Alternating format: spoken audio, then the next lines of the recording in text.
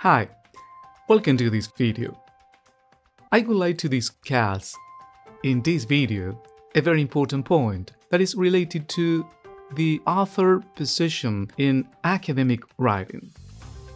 The first point is related to the voice, especially the use of passive voice.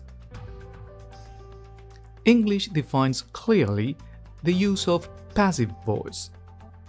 However, in general, writers recommend the use of active voice than passive. Even though if you use a software to check the grammar and style of your text, in general the software recommends the use of active voice too.